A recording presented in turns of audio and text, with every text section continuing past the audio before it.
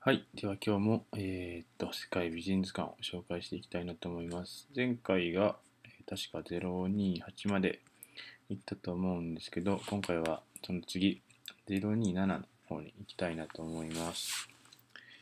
この方ですね。飛んでみましょう。はい。はい。このブログ、ワードプレス使ってるんですけど、あ、すみません、話余談なんですけど、これいいですよね。大体の時間書いてるんで、2分ぐらいで読めますって。多分実際2分もかからないかなと思います。あ、間違えた。はい。じゃあ行きます。えーこんばんは。管理のテリーですと。寒い日が続きますね。そうです。今12月ですもんね。ただ日中は少し暖かいかなと思って、少し薄着で外に出ると夜に超後悔。これ多分1本前の動画見てもらえるとわかるんじゃないかなと思います。皆さんはお気をつけください。はい。最近コメントやいいね等の反応が増えてとても嬉しいです。はい。これ本当そうなんですよね。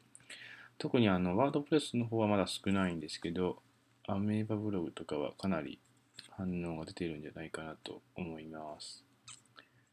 で、これ、ここを超チェックしてほしいんですけど、えーこの、えーサイトが一番大事にしているところです。何回も言います。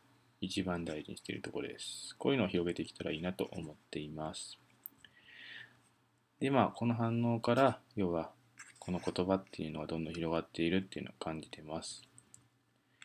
ただ、えー僕がこれをできるのはいろんな理由がありますと。だって、僕も生活しているわけですから、次のステップとして行っていますと。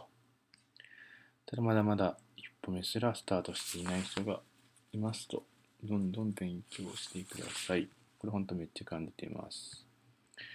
あの、ここにあったりするんですけど、僕もこういうのを触れながら少しずつ今のところに来たっていう感じです。まあ、まあ、強制はしないので、まあ、興味ある人はちょっと見てみてください。あの、本当勉強になります。まあ、使うか使わないかはその人の判断でいいんじゃないかなと思います。で、まあ、長くなったんですけど、えー紹介ですと。では行きましょう。で、さっきとこの人ですね。この人確かヨーロッパの人だったと思います。確かヨーロッパですよね。ヨーロッパの人です。で、今回は写真が少し複数枚に分かれているんですけど、こういう方ですね。私服、やっぱり、おしゃれでなんですかね、こういう人は。ね、こういう感じで、うん、やっぱり、綺麗ですね。で、ここはいつもある通りです。いいなと思ったら、ぜひ、いいねをお願いします。